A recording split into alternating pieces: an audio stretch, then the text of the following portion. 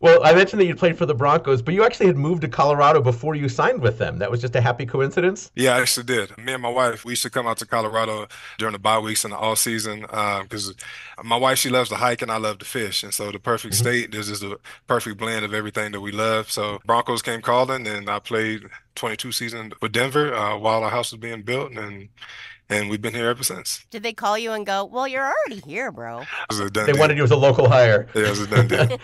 Let's talk about what you're doing now in Colorado with your wife. Uh, you started a new company called Wanderland Outdoors. Tell us about what motivated you and your wife Angel to start this company. When you think of uh, hunting, fishing, hiking, camping, Mhm. anything, a minority is not the first thing you think of, or it's not the first thing you see displayed in advertisements or anything.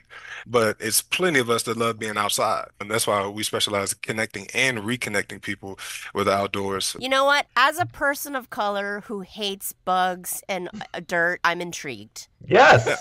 Please. Like, I'm like, Oh, yeah, uh, that's, yeah, that sounds good, Yeah, actually. we we love to get you out. Come on, we love to get you yeah. get Let's you out do it. hiking Let's get Helen put a fishing outdoors. pole in your hand. Uh, come out for a good time.